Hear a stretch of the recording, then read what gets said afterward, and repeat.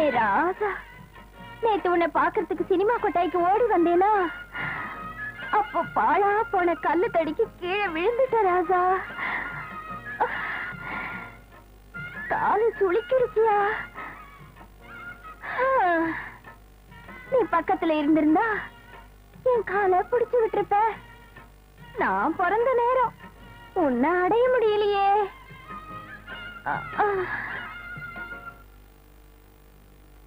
யோ இடியா கைய. அஞ்சல நான் காலை அமைக்க விடுறேன். தொட்ட உன் கைய வெட்டிடுவேன். விடியா மாட்டோம் போ. நீ என்ன கண்ணால கட்டிக்கணும்னு சொல்லு காலை விட்டுறேன் கையால அதை உன்னை கட்டிக்கிட்டா கிணத்துல விழுந்து சாக வேண்டியதா? விடியா கால. முடியாது. என்ன கட்டிக்கணும்னு சொல்லு உனக்கு நான் என்ன ஒன்னாலும் செய்யறேன் யோ நான் சொல்றபடி நீ செய்தினா நான் அப்புறம் உன்னை கட்டிக்கிறேன். நான் என்ன செய்யணும்னு சொல்லு. இத பாரியா நீ எப்ப பத்தாயிரம் ரூபாய் சம்பாதிச்சு என் கையில தரையோ அப்பதான் நம்ம கல்யாணம். பத்தாயிரம் ரூபாயா? சரி நான் கஷ்டப்பட்டு சம்பாரிச்சு கொண்டாந்து கொடுக்கறேன். ஆனா நீ அத்தை மேல சத்தியமா என்னத்தான் கட்டிக்கணும்? கண்டிப்பா கட்டிக்கிறேன். இப்ப போயா? இப்ப போறேன். ஆனா நான் பணத்தோட கட்டாயம் வருவேன். வரட்டா?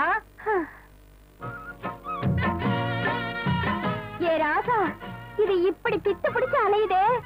நான் என்ன பண்ணுவேன்? வெற்றியோட திரும்பி வாங்க. மாமா புறப்படலாம். நேரம் ஓ ஓ. சார் சந்தி வந்திருக்கு.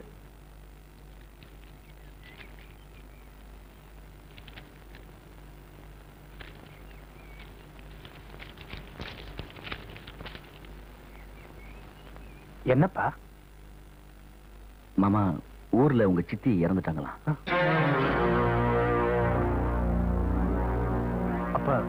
நீங்க கோர்ட்டு போயிட்டு வாங்க. நான் ஊருக்கு போயிட்டு வந்துடுறேன். தர்மா கோர்ட்ல கேஸ நீ தான் போட்டிருக்க. அங்க ஏதாவது எசக விசகா நடந்துருச்சுன்னா நீ இருந்தா தாப்பா சமாளிக்க முடியும். மாமா நானும் அக்காவும் சாவுக்கு போறோம். நீங்க கோர்ட்டு கிளம்புங்க. அதான்பா சரி. சரிம்மா. முனியா வண்டி எடு. மாமா நானும் அக்காவும் சாயந்தரம் திரும்பிடுறோம்.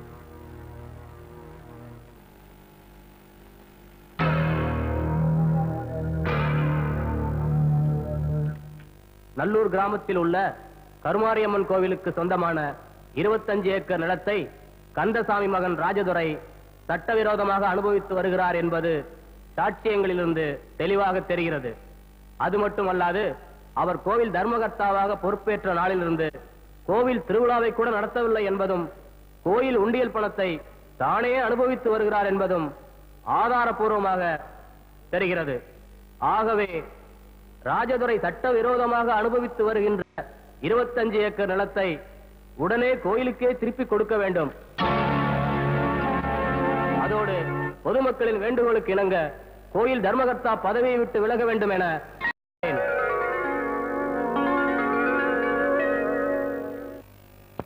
அப்பா இனிமே நம்ம ஊருக்கு நல்ல காலம் பிறந்தாச்சு? தர்மராஜா நீ ஜெயிச்சிட்டப்பா. இனிமே நம்ம ஊர் ஜனங்க. உன்னை வாழ்நாள் பூரா மறக்கவே மாட்டாங்க. இனிமே நீங்க தான் நம்ம ஊர் கோயிலுக்கு தர்மகர்த்தா. அதெல்லாம் ஊர்ல போய் பேசிப்போம் ஆத்தாருலால நாம கேஸ்ல ஜெயிச்சிட்டோம். கொஞ்ச நேரம் உட்காருங்க. நான் வக்கீல பார்த்துட்டு வந்துடுறேன். ஆமாமா நீ இருந்து கவனிச்சிட்டு வா. நான் ஊருக்கு போய் முன்னால வேலையில பாக்குறோம். அப்படி என்ன முக்கியமான வேலையை பார்க்க போறீங்க? அதெல்லாம் உனக்கு எதுக்கு? நீ அங்க வந்து பாரு. இப்ப நாங்க கிளம்புறோம். விவகாரம் ஏதாச்சும் பண்ணி வச்சிடாதீங்க. பத்திரமா ஊருக்கு போங்க. பச்சமுத்து. அண்ணே. நீ போய் நாலு ரோசா மாலை வாங்கிட்டு நம்ம ஆளுங்களை எல்லாம் கூட்டிட்டு பஸ் ஸ்டாண்டுக்கு வந்துரு மேலத்துக்கு ஏற்பாடு பண்ணிடுறேன். வரவேற்பெல்லாம் அமர்க்கலப்படுத்துறேன்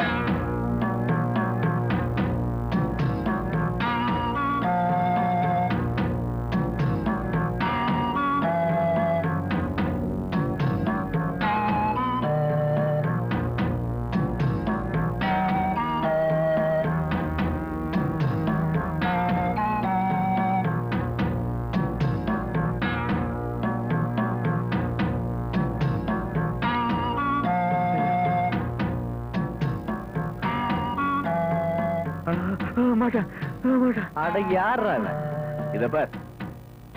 பத்தாயிரம். இத பாரியா நீ எப்ப பத்தாயிரம் ரூபாய் சம்பாதிச்சு என் கையில தரையோ அப்பதான் நம்ம கல்யாணம்.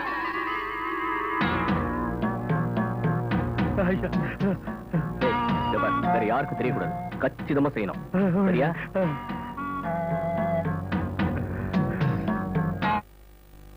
டேய் முனியா. நாம கேஸ்ல ஜெயிச்சிட்டோம்னா உனக்கு நம்ம வீட்டுல தான் இன்னைக்கு விருந்து. வண்டியாடு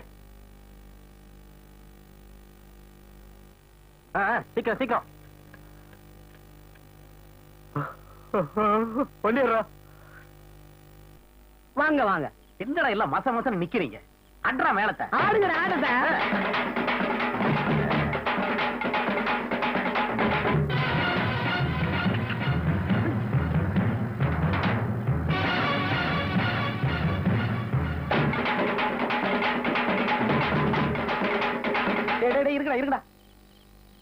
எங்க என்ன இதெல்லாம்? என்ன தம்பி இப்படி கேக்குற?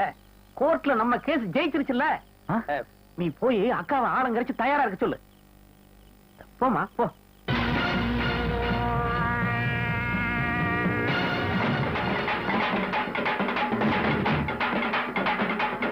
நிப்பாட்டுங்க நிப்பாட்டுங்க நிப்பாட்டுங்க. அண்ணா இதெல்லாம் எனக்கு ரொம்ப பிடிக்கும்? ஆனா எங்க மாமாவுக்கு பிடிக்காதே. நீ என்ன தம்பி. அவன் ஒண்ணு இல்லாததுக்கெல்லாம் விழா நடத்தி ஆடிட்டு கிடக்குறான். மாமாவுக்கு பிடிக்காதான். உன் மாமாட்ட நான் பேசிக்கிறேன். அப்படிங்கிறீங்க? நீ சொன்னதை செய்ய.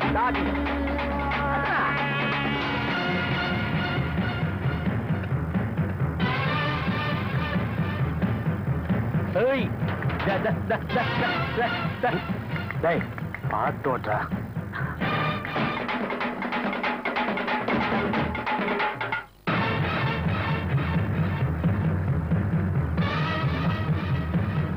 த, த, த, த, த. டேய் பாத்தோட்டா அத பாருங்க யாரோ எங்கடா இடது பக்கம் வரா மாதிரி இருக்கு?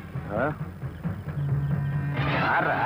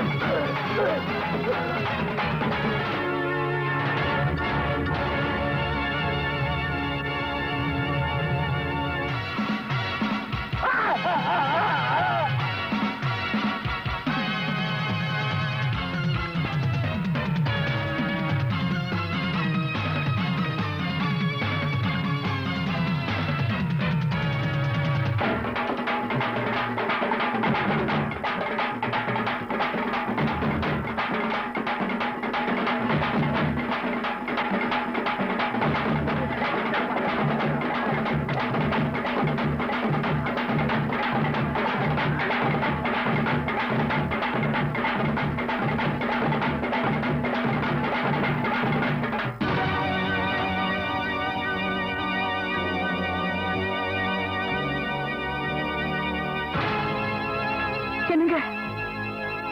மாமா?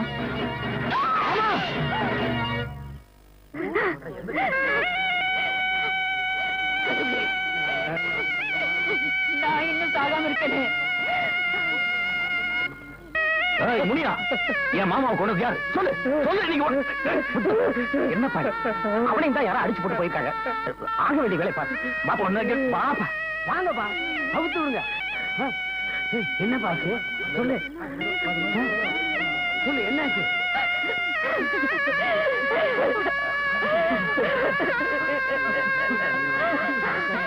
இனிமே உங்க முகத்தை நான் எப்ப பார்க்க போறேன்? தாயே கருமாரி என் புருஷனை கொண்ட பாவியே நீ பழி வாங்க